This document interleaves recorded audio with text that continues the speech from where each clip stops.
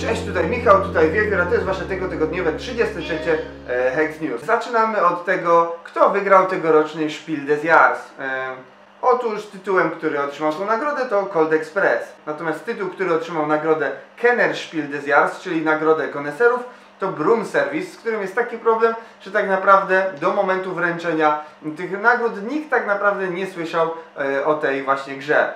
E, Natomiast nagrodę Kinderspiel des Jahres, czyli nagrodę za najlepszą grę dziecięcą, otrzymała gra Spinderella. Days of Wonder informuje, iż na platformę iOS oraz Android pojawiła się elektroniczna wersja gry Splendor. Także teraz będziecie mogli zagrać na swoich tabletach i telefonach właśnie w ten tytuł. IDW informuje, że oni również otrzymali e, licencję na wydawanie różnych e, gier e, na podstawie Teenage Mutant Ninja Turtles. No i planują wydać grę, która ma się nazywać Shadows of the Past i którą ma zrobić Kevin Wilson.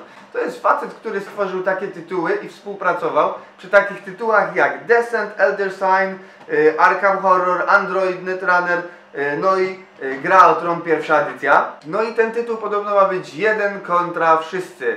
Zobaczymy co z tego wyjdzie. Kosmos ogłasza, że wydaje parę nowych tytułów. Jednym z nich ma być nowa gra twórcy gry Katan oraz jego wnuka, czyli e, duetu Klaus Teuber i jego wnuk e, Benjamin. Mm, Gra ta ma nazywać się Tumult Royal. AEG informuje, że w październiku 2015 roku ma się pojawić kolejna gra z ich zmotoryzowanej, pojazdowanej serii, e, czyli Automobiles. Będzie to tytuł uzupełniający tą serię, ponieważ na początku e, było Trains, potem było Planes, no a teraz ma być właśnie Automobiles, przy czym e, warto wspomnieć, że Trains nie jest tego samego autora co Planes i Automobiles. No i parę informacji od Fantasy Flight Games. E, Ogłaszają oni zakończenie cyklu Angmar Awakened w czwartym kwartale 2015 roku, czyli ostatni dodatek właśnie z tego cyklu pod tytułem The Dread Realm do gry e, Władca Pierścieni Living Card Game. Na stronie Fantasy Flight Games pojawiło się nowe faku, no i nowe zasady turniejowe do gry Star Wars Living Card Game. Dodatkowo informują oni, że w trzecim kwartale 2015 roku pojawi się nowy podręcznik do gry Star Wars Force and Destiny pod tytułem Keeping the Peace. No i ostatnia informacja od nich, że w czwartym kwartale 2015 roku pojawi się czwarta fala dodatków do Star Wars Imperial Assault.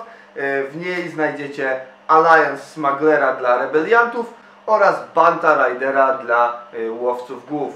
No i teraz parę informacji z Polski. E, Na początek informacja o tym, że 7 sierpnia startuje kampania do gry Viceroy, czyli Wicekról. Jest to stosunkowo popularna za granicą, znana za granicą i dobrze oceniana gra. Natomiast nie miała ona jeszcze okazji e, pojawić się w Polsce. No i teraz będziecie mogli zdobyć swoją, kop e, swoją kopię poprzez e, kampanię na Wspieram to. Galacta ogłasza, iż będzie reedycja Osadników z Katanu, tylko tym razem już pod postacią gry Katan. Dodatkowo informują oni, iż pojawi się dodatek do gry Znak Starszych Bogów pod tytułem Bramy Arkham w drugiej połowie 2015 roku. Fabryka Gier Historycznych ogłasza, że jeśli na Wspieram to zostanie przekroczony próg 10 tysięcy złotych, to pojawi się nowy dodatek do gry Teomachia pod tytułem Kapłani i Prorocy.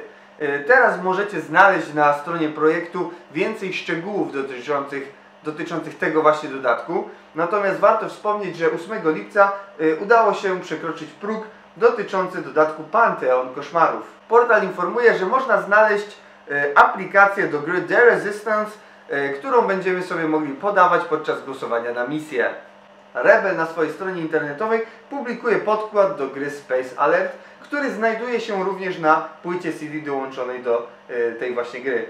Okej, to tyle jeśli chodzi o wiadomości z Polski i ze świata. Teraz przechodzimy do tego, co się będzie działo w Heksie w najbliższym czasie. Zaczynamy od tego, że w sobotę będzie turniej Doomtown. Jest to, nie, jest to wydarzenie ogólnopolskie. Natomiast w niedzielę będzie e, turniej Neuroshimy Hex. Za tydzień, w sobotę i w niedzielę będzie Liga Gry o Tron, natomiast za tydzień w niedzielę będzie Liga Hearthstone'a.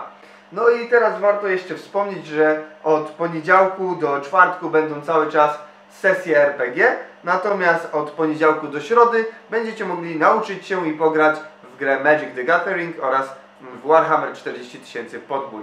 To tyle na ten tydzień. Dziękuję bardzo za uwagę. Do zobaczenia w przyszłym tygodniu. Trzymajcie się. Cześć.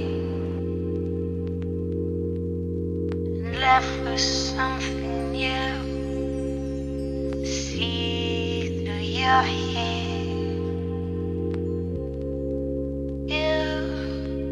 Haunt my dreams. There's nothing to do but believe.